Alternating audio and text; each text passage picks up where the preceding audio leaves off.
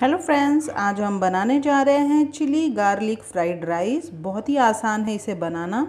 चलिए बनाना शुरू करते हैं। चिली गार्लिक फ्राइड राइस बनाने के लिए यहाँ पे मैंने ले लिया है बासमती चावल। आप किसी भी चावल का इस्तेमाल कर सकते हैं।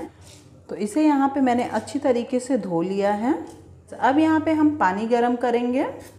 इसमें हम डालेंगे एक से दो चम्मच तेल। थोड़ा सा नमक डालेंगे।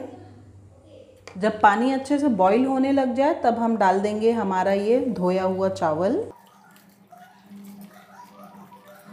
और अब इस चावल को हम 90 टू 95 परसेंट तक पका लेंगे।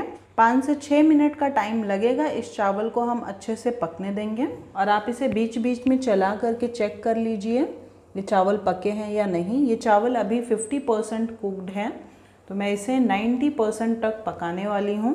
इसे दो से तीन मिनट के लिए और हम बॉईल होने देंगे। एक एक चावल आप देख सकते हैं कि अच्छे से खिला खिला बन करके तैयार हो गया है। ये देखिए, इस तरीके से ये थोड़ा सा मैश भी होना चाहिए, लेकिन ओवर कुक नहीं होना चाहिए, क्योंकि ओवर कुक चावल में अगर आप फ्राइड राइस बनाएँगे तो वो अच्छे खाने में नहीं लगते हैं। तो यहाँ पे ये रेडी है। अब मैं गैस की फ्लेम को बंद करती हूँ और इस चावल को हम तुरंत छान लेंगे ताकि ये गर्म पानी में रह के ओवर कुक ना हो जाए। ये देखिए, चावल को मैंने पानी से निथार करके इस छन्नी में रख लिया है। इसे रखते हैं साइड में।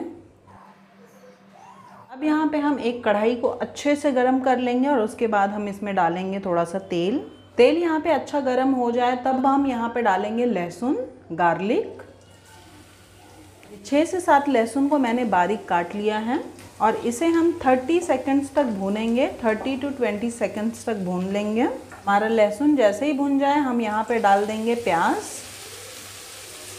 और प्याज को हम एक मिनट के लिए हाई फ्लेम पर भून लेंगे। आप चाहें तो लहसुन के साथ बारीक कटा हुआ अदरक भी डाल सकते हैं। देखिए, यहाँ पे हमारा प्याज जैसे ही हल्का सा भुन जाए, हम यहाँ पर डाल देंगे गाजर। शिमला मिर्च। मैंने यहाँ पे सिर्फ़ शिमला मिर्च और गाजर का इस्तेमाल किया है। आप चाहें तो यहाँ पे बीन्स भी डाल सकते हैं, ब्रोकली डाल सकते हैं, कॉलीफ्लावर या फिर कैबेज भी डाल सकते हैं। अब इसे भी हम एक मिनट के लिए हाई फ्लेम पर भूनेंगे।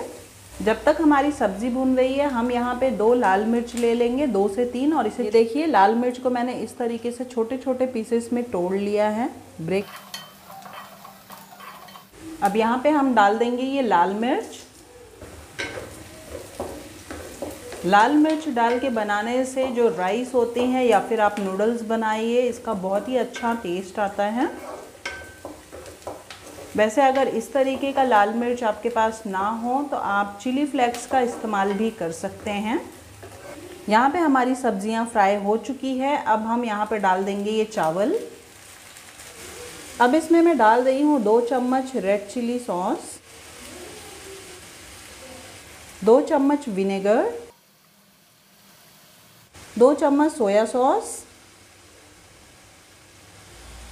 अगर आपकी चावल की क्वांटिटी ज़्यादा है तो सॉसेस थोड़ा सा ज़्यादा डालिएगा। अब यहाँ पे हम डालेंगे आखिरी में नमक। चावल को बॉईल करते वक्त हमने नमक डाला था, इसलिए हम नमक थोड़ा कम डालेंगे। और अब इसे हम अच्छी तरीके से मिक्स करेंगे। चावल टूटने नहीं चाहिए, इसलिए सावधानी से अच्छे से मिक्स करेंगे।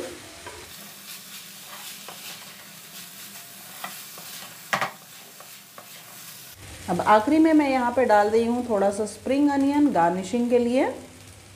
की फ्लेम को बंद करते हैं और हमारा चिली गार्लिक फ्राइड राइस बन करके तैयार है। फ्रेंड्स, यहाँ पे हमारी चिली गार्लिक फ्राइड राइस बन करके तैयार है। अगर आपको मेरी रेसिपी अच्छी लगी हो तो प्लीज़ वीडियो को लाइक करिए, चैनल को सब्सक्राइब करिए। Thank you, bye bye.